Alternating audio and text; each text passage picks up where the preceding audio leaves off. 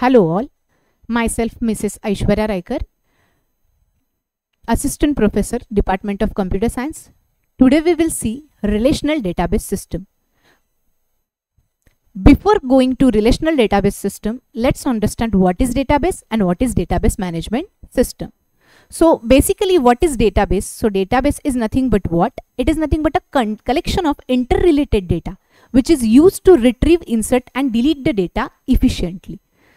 And it is also used to organize the data in the form of the table, schemas, views and reports. So let's take an example of an college database which organize our data about the admin, staff, students, faculty, etc. And using the database, we can easily retrieve, insert, delete the information. So the, whichever information we need, if it is at one place, so it will be easier for us to retrieve, insert, update, delete that information. Now as we have seen what do we mean by database, now let's understand what do we mean by database management system. So database management system, it is, it is nothing but a software which we will be using in order to manage the database. When we are creating the database, there should be a software using which we can manage our database. What are the examples of database? MySQL and Oracle are the very popular and commercial databases. And database management system provides an interface to perform the various operations like database creation, storing data in it, updating our data, creating a table in the database and a lot more. So it is nothing but an interface using which we manage our database management system. So it provides the protection and security to our databases too. But obvious, it will not just help us to manage our data, to store our data, but using it, we can protect and secure our data so in case of multiple users, it also maintains the data consistency too. Now, with the help of the database management system, user can do the following task. First, data definition. Second, data updation. Third, data retrieval. And last, user administration. So data definition is nothing but what? Using data definition, user can create, modify and remove the definition that defines the organization of the data in our databases. And data updation will be used for inserting modification deletion of the actual data in the databases.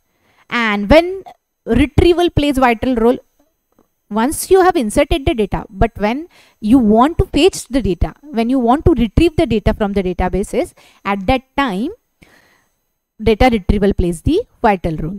Then user administration it is used for uh, registering and monitoring users, maintaining the data integrity, enforcing the data security, dealing with the concurrency control, monitoring performance and recovering information corrupted by unexpected failure. Now let's have some, let's have an overview over the characteristics of the databases, database management system. So the very first characteristics is it uses a digital repository established on a server to store and manage the information. So our data which is stored on the server will be managed by using digital repository. It can provide a clear and logical view of the process that manipulates the data. And our database management system contains automatic backup and recovery procedure. And it contains the ACID properties which maintains the data in the healthy state in case of failure. In our upcoming lecture, we will be discussing ACID properties in detail because ACID properties plays vital role in database management system. It can reduce the complex relationship between the data. Again, it is used to support the manipulation and processing of data. It will provide the security of the data too and it can view the database from different viewpoints according to the requirement of the user. That is as per my requirement, I can view the database from the different viewpoints. Now let's discuss the advantages of the databases. It controls the database redundancy, data sharing, easily maintenance, reduce time, backup and multiple user interface. The very first advantage is database redundancy. That is the repetitive data will be avoided. That is it can control the data redundancy because it stores all the data in one single database file. And that recorded the data its place that recorded data will be placed in the database. Data sharing. The authorized users of an organization can share the data among the multiple users. So that is the advantage that only authorized user of the organization can share the data among the multiple user. Easily maintenance, it can be easily maintainable due to the centralized nature of the database system. So database system's nature is centralized due to which it is easily maintainable. Reduces time as it reduces the development time and maintenance need. Backup it provides the backup and recovery subsystem which creates automatic backup of our data from hardware and software failures and it will restores the data if required. So backup is an another advantage. Multiple user interface, it provides different types of user interfaces like GUI that is graphical user interface and application program interfaces. These are some disadvantage of this uh, database management system. The very first is cost of hardware and software. Size, complexity, higher impact of failure. So cost matters. It requires high speed of data processor and large memory size to run the DBMS software. As the software needs large memory size and in order to support that software we need a hardware. So cost is high. Size, it occupies as we have discussed, it occupies the large space of disk and large memory to run them efficiently. So that is the second disadvantage. Complexity, it will be creating a additional complexity and requirement as it is going to use complex levels of as it is going to do the complex levels of task so it will be creating the complexity higher impact of failure. Failure is highly impacted because in most of the organization all the data stored in the single database. And if the database suppose if the database is damaged due to whatever may be the reason maybe electricity failure will be there or the database gets corrupted then at that time the data may be lost forever because data is lost forever what is the reason because the data is being stored in the single database and if that database gets damaged then there is no option the data is lost